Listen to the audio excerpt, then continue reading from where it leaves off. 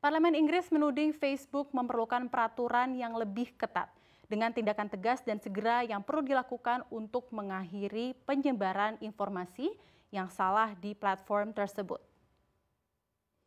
Sebuah laporan baru yang diterbitkan oleh Komite Digital, Budaya, Media, dan Olahraga Parlemen Inggris berpendapat bahwa Facebook dengan sengaja dan sadar melanggar Undang-Undang Privasi Data dan Persaingan Inggris.